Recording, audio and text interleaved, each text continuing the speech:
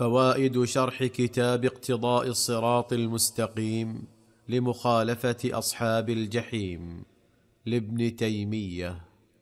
وقوله فبدل الذين ظلموا قولا غير الذي قيل لهم. نعم اليهود لما قال الله لهم ادخلوا الباب سجدا وقولوا حطة فأمرهم أن أن يسجدوا لله عز وجل عند دخولهم.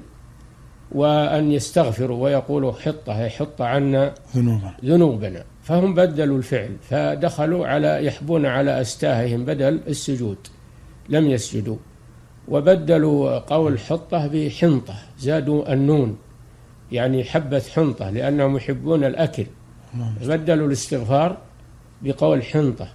فهذا معنى قوله جل وعلا فبدل الذين ظلموا قولا غير الذي غير الذي قيل لهم فأنزلنا على الذين ظلموا رجزا من السماء بما كانوا يفسقون. فهذا من التبديل.